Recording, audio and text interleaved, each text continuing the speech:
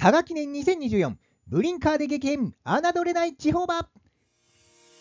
皆様こんばんは。稼ぐ情報競馬データ検証の柳生でございます。本日は5分でわかる外球データ編といたしますですね。地方競馬の特別編でございます。佐賀記念2024チェックしていきたいと思います。それではこちらが本日のメニューでございます。まず1つ目、佐賀記念出走馬の確認ということでございましてですね、あの JRA 出走馬のね、前頭診断も行ってみました。そしてですね、過去の外球傾向を学ぶということでございましてですね、まあ、過去5年間佐賀記念のね、傾向を確認してみました。そして3つ目でございます、野球のおすすめコーナーでございます。過去の傾向からね、ちょっと今年狙いそうなね、面白そうな馬を探してみたいなというふうに思っております。メンバーなんですけれどもね、こんな感じでございますですね、まあ、地方からですね、ね、マンダリンヒーローとかね、もう本当海外でもね、頑張って活躍したんですけれども、まあ、あとはね、あと人気になりそうなグランブリッジとかね、そのあたりが参戦してくるようなね、メンバー構成になっております。なおですね、あの週末のね、JRA 重賞データガイド版に関しましてはですね、週末出走馬が確定いたしましたレース前日に LINE にてお送りさせております。下の概要欄から一部登録していますので、ぜひ登録してお待ちいただければと思います。それではですね、まずね、あの JRA まではないんですけれども、地方までね、まあ、注目されてるんじゃないかなというマンダリンヒーローでございます。前走に続いてですね、あの吉原騎手がですね、騎乗は心強いんですけれども、まあ、ただね、勝てなかったミックファイアがですね、JRA 組の集まる東京大商店で全く相手にならずという形でございました。ちょっとね、佐賀の馬場が合うのかなーっていうところがね、気になってるんですけれども、まあ、まずはね、JRA 組ともですね、まあ、あの能力差っていうところがですね、ポイントになってくるんじゃないかなっていう気がします。ちょっとね、能力面ね、ここで確認してですね、あのー、今度ね、まあ、レースに出てきたらですね、考えてみようみたいなね、感じでいいんじゃないかなっていうところでございましてね、ちょっとここはね、不安点もあるかなっていう感じがします。そしてこちら、人気筆頭のね、グランブリッジでございます。まあ、現役ダート牝馬ではですね、もう間違いなく上位の馬なんですけれども、ちょっとね、昨年のね、エンプレス杯からね、勝ちきれない競馬が続いております。夏にですね、スパーキングレディでですね、4着に敗戦したのは、まあ、距離かなーっていう感じがするんですけれども、得意のね、大井 1800m でも2着、で、名古屋グランプリのね、メンバーでも2着って感じになっております。中間はですね、2月7日にいっぱいに攻めてですね、栗東坂路52.2秒と、まあ、自己ベストでございます。状態面に関してはね、問題ないんじゃないかなというふうに思うんですけれども、堅実な走りするんですけれども、ちょっとね、人気を競っても勝ちきれないっていうね、可能性があるよってことはですね、頭に入れておいていただきたいかなという感じがします。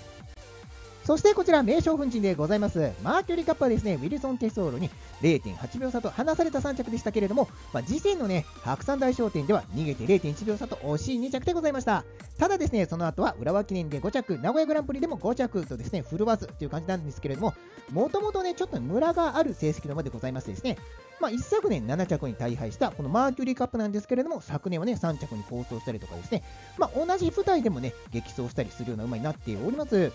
調教からね、酒井学騎手が31日、8日とですね、2週連続できっちり仕上げておりましてですね、まあ、5着続きなんですけれども、3着内のね、構想であれば期待してもいいような馬なんじゃないかなという感じがします。そしてこちら、キリンジでございます。はい、もうキリンジ様という感じでございましてですね、ジャパンダートダービーではですね、動画でも取り上げて激走してくれてね、本当にね、野球自身もお世話になったんでね、あの応援はしております。まあ、ただですね、ちょっとその後がですね、全く走れなくなっているのでですね、12着、8着という感じでございます。ジャパンダートダービーのね、1着はミックファイアがですね、東京大商店で JRA 上位に大敗という形でございましたし、3着馬だった水戸の王も名古屋グランプリでは9着という感じになっております。能力面でね、ちょっとね、まだ壁があるんじゃないかなというところがございましてですね、不安を感じる現状でございます。そしてこちら、乗ってるのでございます。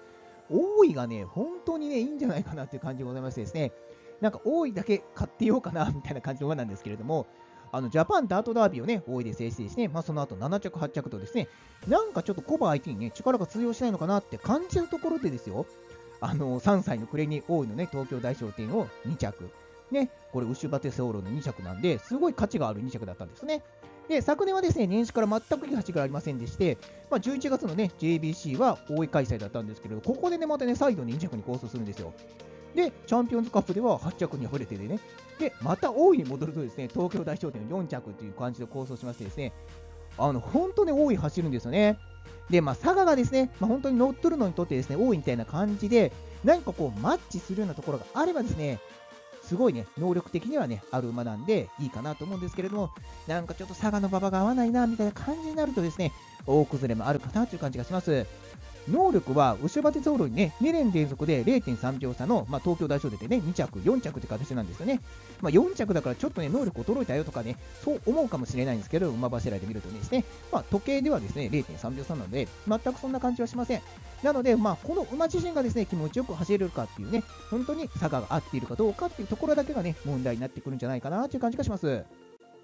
そしてこちら KI パープルでございます。8歳になってですね、ちょっとね、衰えが出てきてる感じがします。佐賀記念でのね、まあ、あの勝ち馬なんですけれども、まあ、それってね、2年前なんですよね。で一昨年は8戦してるんですけれども、昨年はね、4戦のみっていう感じでございましてですね、まあ、その4戦でもですね、名古屋大商店の2着のみの構想でございます。で、個人的にちょっとね、気になるのが追い切りでございまして、佐賀記念制覇にはですね、立東のコースでですね、82.2秒出していた馬なんですけれども、この中間ですね、藤岡光太騎手が騎乗してですね、いっぱいに攻めたにもかかわらず、86.1秒も要していました。で、2週連続でね、藤岡光太騎手乗ってくれてるんですけれども、これね、あの2月の8日、これもね、強みに攻めてるんですけれども、86.5秒って感じでございまして、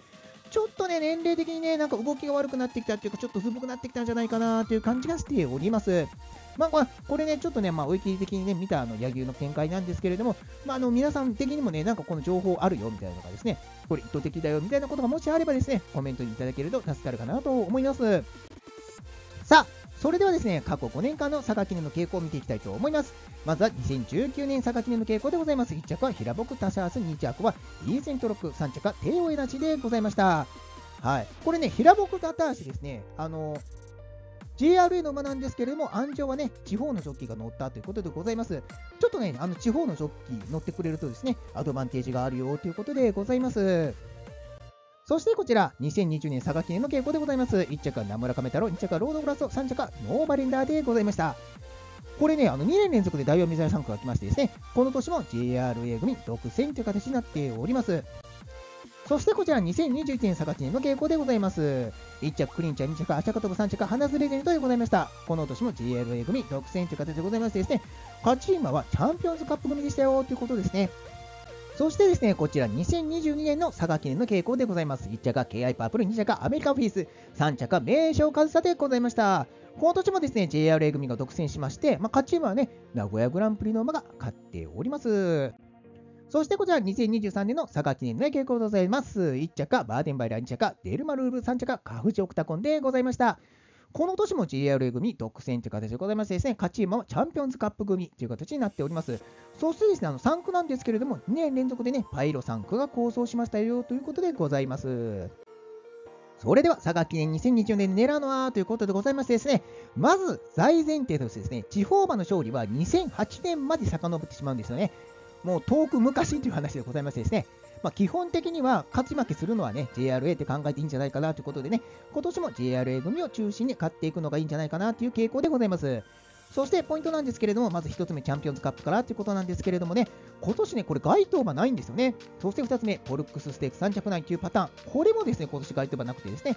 パイロ3区ということになるとですね、あの本当に過去ね、KI パープル、デルマルーブルとね、2年連続で走ってるこの傾向なんですけれども、今年は KI パープルしかいませんよということでございます。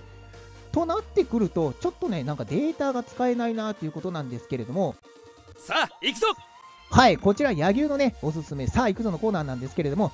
ヒストリーメーカーね、ちょっと面白いよみたいな感じでね、紹介させていただければと思います。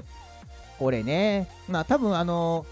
まあ、パイロ3区なんでね、が走ってたりするんで、まあ、ナズルラ系のね、馬でですね、あのグランブリッジとかね、いいかなってね、まあ、そんな感じで考える方もいらっしゃると思うんですけれども、これね、わざわざね、動画見てね、まあ、5頭しかいない JRA 組でね、あのグランブリッジおすすめですとか言われても、個人的に野球はちょっと泣いちゃうなと思いましてですね、まあ、そういうタイプでして。まあ、逆にね、なんか皆さん軽視しそうで、あの出走表を見てもね、全然なんか目にも留めなかったみたいな馬でね、まあ、ちょっと押さえておいた方がいいんじゃないかなみたいな馬をね、探してみました。まあ、前日のね、データもね、まあ、無視してるわけではなくてですね、あのポルックスステークス3着内に限りですね、構想してたんですけれども、このヒストリーメーカーってね、もともとね、JRA 重賞でも活躍してた馬なんですけれども、あの JRA ではですね、重賞のマーチステークス、中山のね、重賞なんですけれども、こちらをね、2着、3着でですね、中山 1800m での適性を示しておりました。